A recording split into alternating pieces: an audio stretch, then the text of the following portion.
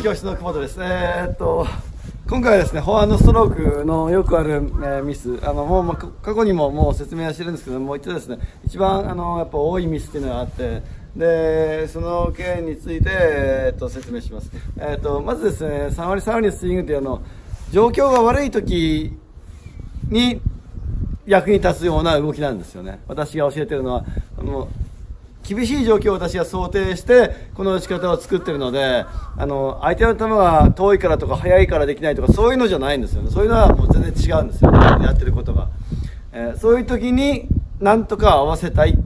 なんとか打ち返したい。なんとか狙いたいとか。そういう打ち方なので、えーそういう状況が来た時に打ち方を変えてしまったら何にもなんかこういいとこがないというか良さがあんまり分かんないんですよね。そういうところに焦点を合わせて打ち方を考えているので。なので、あの、徹底的にやっていただきたいですね。どんな状況でもとりあえず、えっ、と、バックスイングが完了された3割3割のこれはやるとかね。ここは見せるとかね。下向きはね。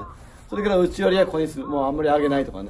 そういうのを徹底的に練習していき。あの、簡単な球で、まず練習して徹底的にやっていただきたいですね。簡単だからといって、あの、この3割3割ちょっとこうヘッドを緩めてこうやってみたりとか、最後上に上げてみたりとか、でちょっと前腕ロックも甘くして打ってしまったりとかっていう、えー練習をしないようにねあのもう手出しの球でもきちんとここを守ってやるとで、えー手出しの球で簡単な球を送ってもらってる時はこれひょっとしたら本当は速い球が来るかもしれないとかね。これは速い球だと思って練習しておくとかね。っていうそういうイメージをしながらあの簡単なボールを練習してくださいね。簡単な球は簡単だからと思ってふわーっとやってるとダメなんですよ。そういう人に限ってやっぱりその厳しいボール速い球とかが来た時に全然対応できなかったりするんですよね、えーでえー、ともうほとんどの場合がやっぱりその苦しい時に打ち方変えちゃってるんですよね。あの私が進めてる3割3割のスイングだいぶ馴染んできましたけどとかっていう方もまあ、簡単な球とか普通のラリーしてる時はいいんですけどちょっと速い球をスコーンと打ったり深い球を打ったりすると全然違う来ちゃうんですよね。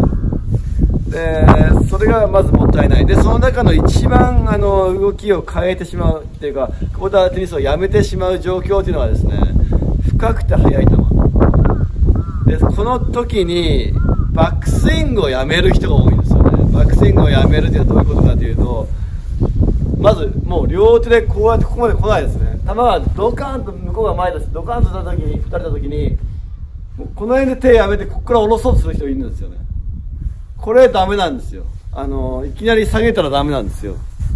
下げた状態からの勢いってないんで足元にボーンと速いのを打たれたとしますよね。ベースライン立っちゃってじゃあベースライン際に落ちた球。その時にここからスタートしたらダメなんですよね。ここからってもう全然勢いないですよね。勢いなかったらどうするってもう手いじるんですよね。でそのいじった瞬間っていうのが二度引きなんですよ。ほとんどの場合で。これっちなんですよね。こうやるんですよね。でどうせここにラケットフェースが来るんだったら最初にこっちにしておいて来てほしいんですよね。あります？言ってること。あの時間がないから下にやったってこれよく言うんですよね。これやる人はあの言い訳としてあのもう引く時間がないから下にしましたって言うんですよ。でもよく見たら下にした後にまた後ろに行って打ってるんですよね。時間がないから下にしました。で下のまま打ちましたって人はいないですよ。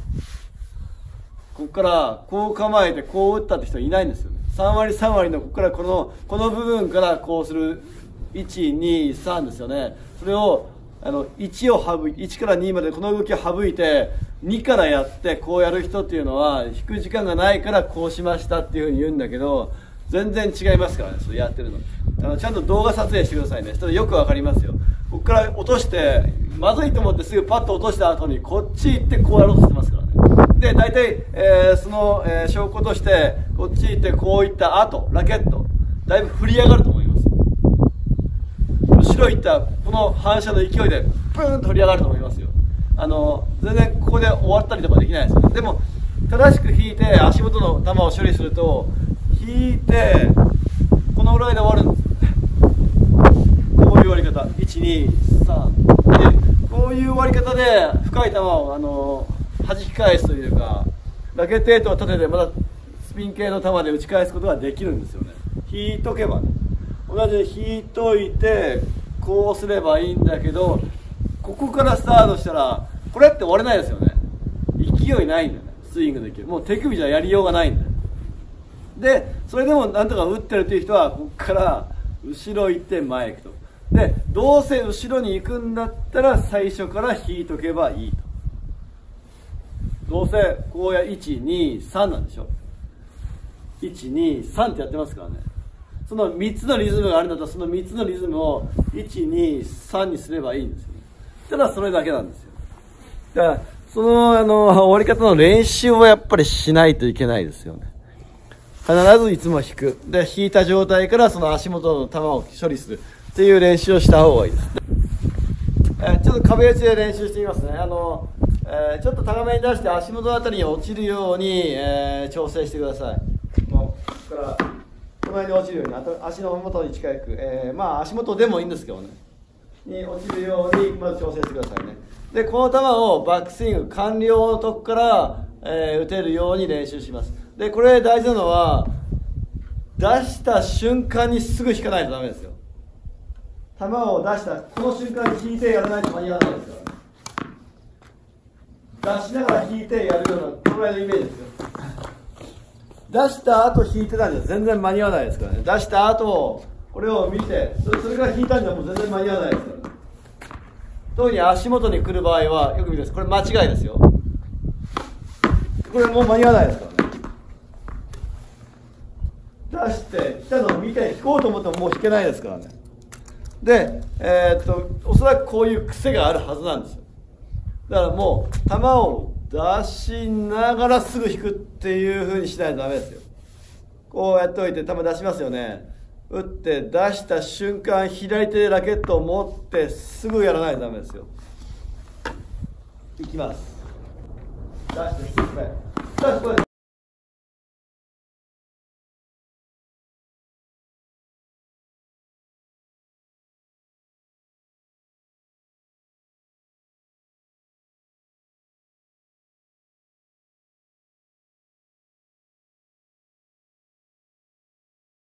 目出してれるんですよ。いきますよ。出してすぐやってますよね。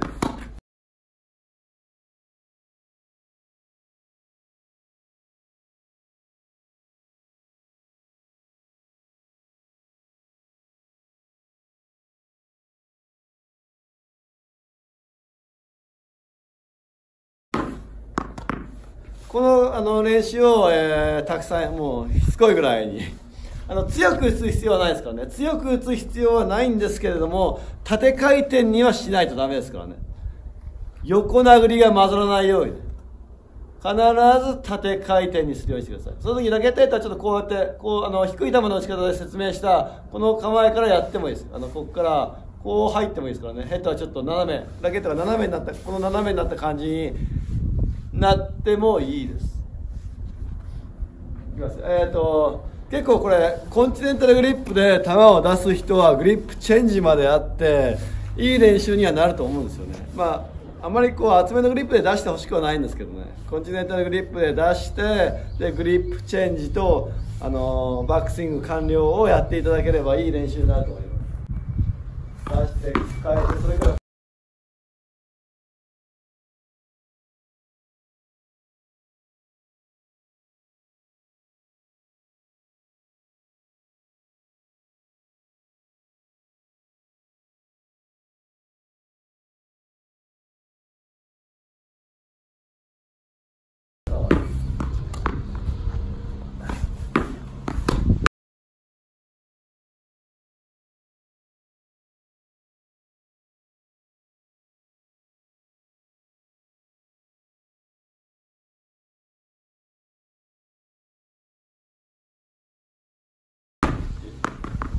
で大きく振り上げてないですよね。もういいといでこれ終わりの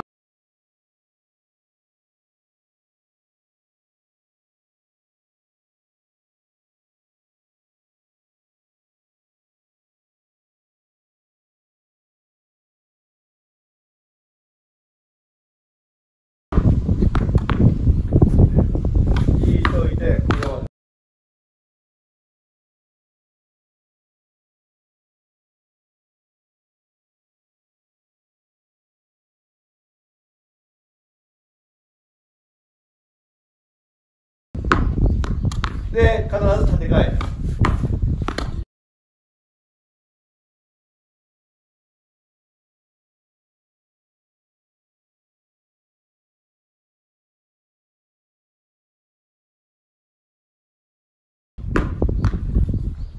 このここが欲しいですね。結構な速さですね。今あのこの動画を見ながらあのちょっとラケット持たなくてもいいんで素振りしていただければ同じように真似していただければいいと思います。どのぐらい私が急いでここまで来てるか。結構急いでますよね。速さですね自分がこう出してる感じでやってください。出してる感じでやってく。るこの速さでグリップチェンジまでやって前腕ロックまでいけたかどうか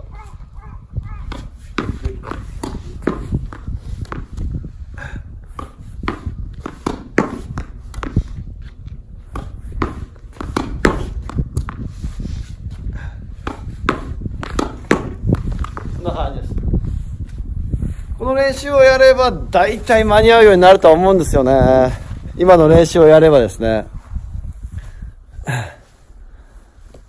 ああいう練習をちょっとずつこう、やらせないとダメですよね。おそらく、深い球が苦手とか、あの、上がりっぱなライジングが取れないとかっていう人は、こういう練習自体はほとんどやってないと思うんですよ。あの、深い球が来たら深い球が来たで下がってって待って打つとかね。それからもう、引かずにここからもう回してぶったたいたとか。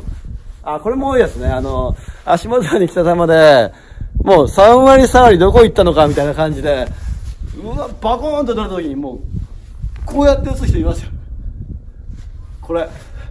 突然。それもダメですからね。ちゃんと両手で引いてにしてください。前向きでこういうのやる人いますけど、これしないでください。これも確かに内割りこうはなるんですけどね。これちょっともう、なんていうのかな、当てずっぽう感がちょっと半端ないというか、それじゃあ毎回同じように球が飛ばせるのかって言ってもうなんか、どこ行くか自分でもわかんないけど、とりあえず打ってみたみたいな、そういう打ち方ですよね。そういう、あの、あの、まぐれ当たりみたいなのはダメなんですよ。確実にこう低い球が来ても、これやって、ここで合わせて、それから触りに行ったっていうのが見えないとダメなんですよね。合わせやすく、誰が見ても、あ、あれは当てやすいなと思えるような打ち方じゃないとダメですからね。引いて、あ、球の後ろを取ろうとして、それから触りに行ったんだと。引いて、面を下向きにして、それを開いていったから縦回転にしようとしたんだ。というのは分かるような、はっきり分かるような感じにしないとダメですからね。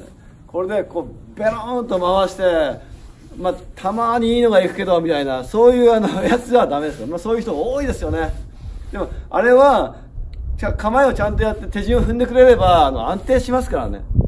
ちゃんとああいうタイミングでも、いろんなとこ狙えるように本当はなるんですよ。でもそれをやめてぶったたくだけみたいになってしまわないように、えー、その辺注意してですね練習していただきたいですね。そういう時の、えー、ためのスイングを私はずっと考えて教えてるので、そういう苦しい状況ね、えー、それ変えないように。でえっ、とあの上がりっぱなライジングで打つやつも壁打ちであのえ、やった動画がありますのでそれを参考にしてくださいね。それはあのリンク貼っときますのでそれも見てください。それはあのずっと見ながら素振りだけでも家の中でやればですね、えー、となんかそういうイメージが湧いてくると思うんです。引くタイミングが分かったりとかね。振り出すタイミングが分かったりとかね。っていう風になると思います。あのもう引いて下ろしといて早く球が上がってこいって思えたらいいです。引いて下ろしてバウンドした球が上がってきなさいって思えたらいいですね。ここでね。引いてここで上がってこいって思って叩くんです。うわ来た。はダメですからね、えー、今回は以上です。